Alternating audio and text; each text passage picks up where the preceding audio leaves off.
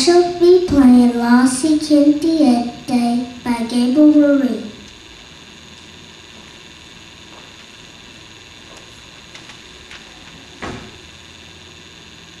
Thank